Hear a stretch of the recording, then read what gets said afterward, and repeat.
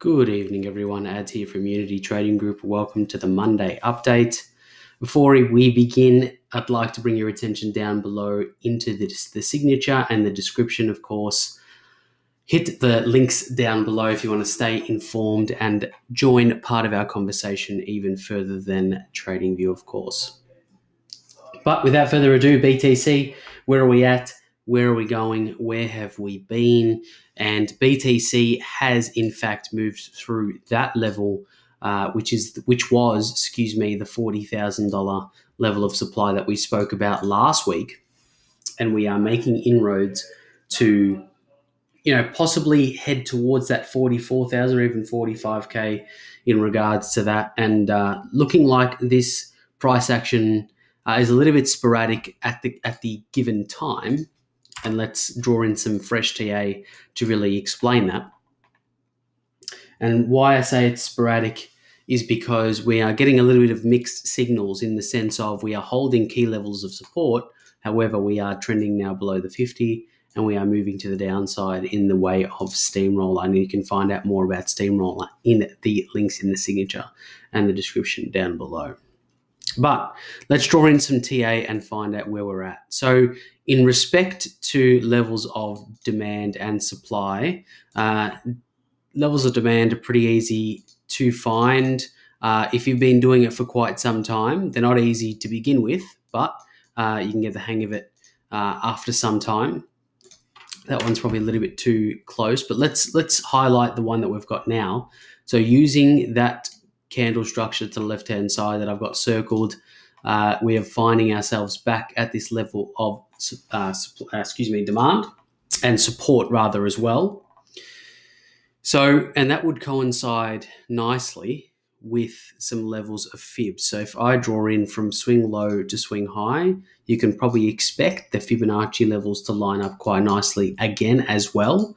Uh, so we're looking at the 38, 50, 61 type scenario here, and the 38 and the 50 have been respected so far, as well as our level of demand. So it's looking okay for this time frame. It's looking okay. What can we expect from here? There's going to be two things and two critical levels that we're looking for uh, in the sense of we've got the 61.8 down here coincides to the lower extremity of our level of demand. And of course, if we do move through this level of demand, we'll make a lower low in our market structure and possibly uh, start a movement similar to this. If we moved down below the 61, we could do something along the lines of this. Uh, if we were to see the 61 be broken, and of course our lower low uh, be formed there. So we create a lower low, lower high, and then another low, another lower low to invalidate uh, this upwards formation that we're seeing now. That's one scenario. Second scenario is we, you know, hold where we are, and then we continue further up. Next level being negative 27.2, and of course coinciding with, you know, roughly 44, 500, 45k. That's the next area of interest in the way of a supply. And in this in the way of supplies go, or as far as supplies go, is a decent one because it is in fact on a pivot point, come down, pivot upwards, and then a, a pretty striking move to the downside. So it is quite significant. It is high quality, and the high quality levels are the most important because they are price magnets. Price is attracted to these points. So it's more likely to see price move to a higher level or a higher quality level of supply than it is a low level, low quality one. In fact, if we were to draw in one here, this would be low quality. And then there's more likelihood that we'll see this scenario happen rather than this one in the sense of supply and demand, or as far as supply and demand is concerned currently. So, two scenarios. And, you know, really just coming down to are we going up or are we going down? Well, you know the the price action, the market structure is towards the bulls currently, because we have higher high here, higher high, higher high, and we have lower high, lower high, lower, high low, excuse me. High low, high low, high low. Excuse me. So we have a, a scenario forming like this.